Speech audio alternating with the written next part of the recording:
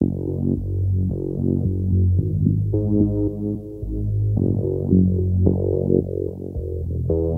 you.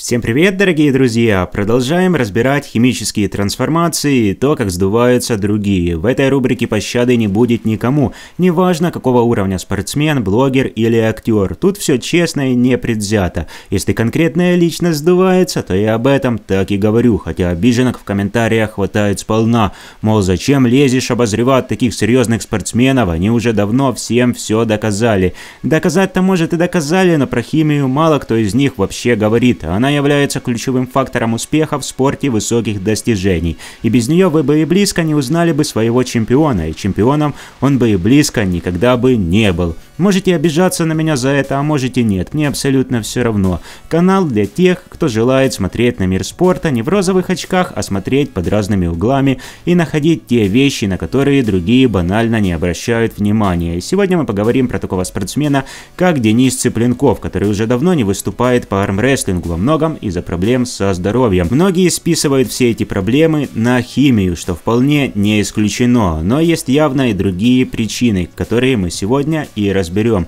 Конечно, Денис, как и многие спортсмены, отрицает вред химии и говорит, что она практически безвредна. Но спорт высоких достижений идет рука об руку с высокими дозировками, и они как минимум увеличивают риск развития огромного количества заболеваний. Также многие упускают тот факт, что тяжелые физические нагрузки могут вредить больше, чем сама химия, которая как раз таки позволяет совершать эти самые физические нагрузки в таком-то количестве, с такой-то интенсивностью. Специально сделал такое пояснение, чтобы в дальнейшем проще было понять всю картину. Денис не отрицает факта приема химии, да и думаю, глупо было бы отрицать, ведь в профарме допинг-контроля нет, да и его габариты говорят сами за себя. Вот так спортсмен выглядел в 15 лет, а так в 19, а вот уже форма в 20 лет. То есть видно, что за короткий срок он довольно быстро надулся. Предполагаю, что как раз в то время он начал химичить, и химичил явно не слабо. Какой-то колоссальный результат и какая-то колоссальная прибавка в объемах. Теперь давайте поговорим о пике формы нашего сегодняшнего героя. Денис неоднократно выходил на пик и набирал очень достойную форму, когда готовился к турнирам по арму. Особенно впечатляло то, как он выглядел в 2018 году когда готовился на поединок против Девона Ларата, а также тогда он должен был бороться с Андреем Пушкарем, который, к большому сожалению, попал в аварию перед самим турниром и выжить ему не удалось.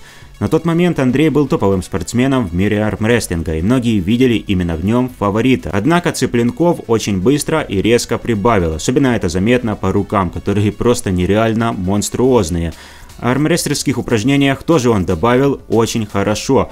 Ларата он тогда легко одолел, и многие предполагали, что он еще со временем сможет улучшить свою форму к предстоящему поединку против Ливана Сагинашвили.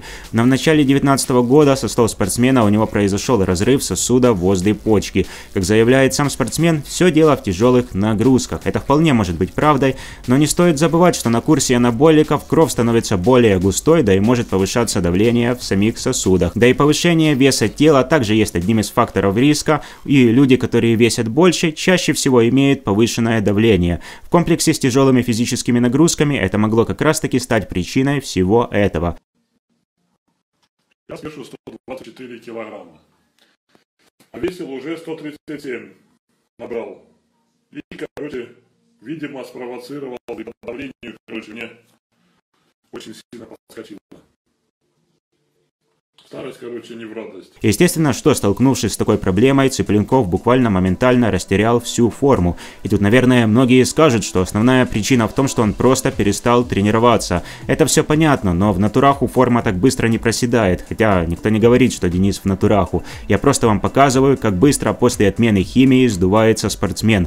В натураху даже после нескольких месяцев отсутствия тренировок человек может практически не измениться, если, конечно, не начать хавать много мазика с пельменями и не раз разжиреть. И говорю именно про количество мышечной массы, которая довольно стабильна в натураху в принципе. Опять-таки, этот пример наглядно нам показывает, насколько быстро без химии сдувается человек, даже такой одаренный, как Цыпленков. Далее он пробовал несколько раз набирать форму, надувался довольно быстро, но к соревнованиям так и не вернулся, и стало понятно, что Ливана Сагинашвили Цыпленков победить не сможет, потому что здоровье уже не то, да и возраст тоже. Ну и Ливан это настоящий монстр с феноменальными данными и довольно молодой молодой, как для Арма.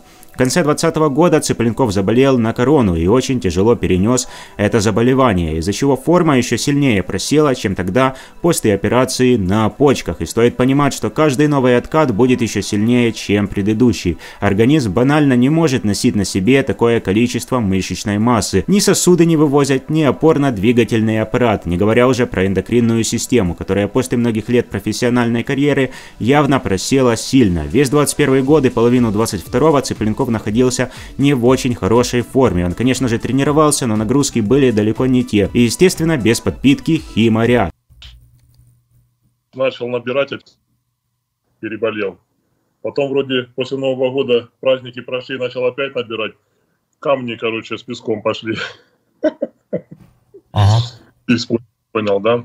И поэтому сейчас так, физкультурой легкой занимаюсь. Особо Э, скажем так, не стараюсь. Большие веса не поднимаю, потому что в первую очередь сейчас за здоровьем слежу. Там какие-то обследования, еще раз там понаблюдаться у врача, потому что это все, конечно, мне не нравится то, что вот эти вот вещи происходят одна за другой. Ну и поэтому как-то так. Пытаюсь пока ничего такого спортивного не происходит. Ну, в Инстаграме не освещаю эти темы. Наверное, ну, не до этого. И на некоторых кадрах нашего сегодняшнего героя вообще не узнать, и он выглядит очень болезненно.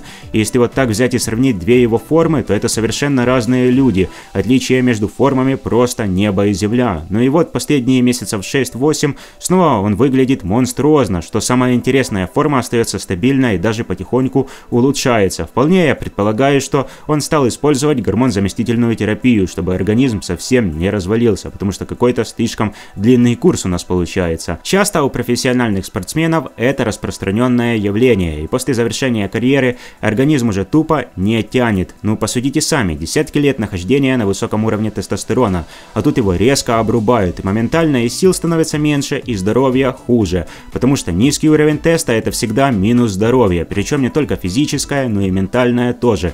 Об этом почему-то мало кто вообще говорит, но тема реально очень важная. Когда человек на высоком уровне теста, это добавляет ему уверенности в себе, решительности и целеустремленности тоже, да и в целом банально больше моральных сил и возможность сделать большее количество дел. А тут теста стало в разы меньше, естественно, что здоровье будет проседать. Даже если вы посмотрите на те видео, где Цыпленков откатил, то обнаружите, насколько болезненно он выглядит. Да и в целом он не так бодро выглядит. И видно, что моральное состояние оно хуже, чем тогда, когда он был на курсе. Вероятно, что он вернется в профессиональный спорт, она крайне низкая. С одной стороны, вряд ли хватит здоровья, и мы видели, как за последние года он предпринял несколько попыток вернуться, но ничего не вышло.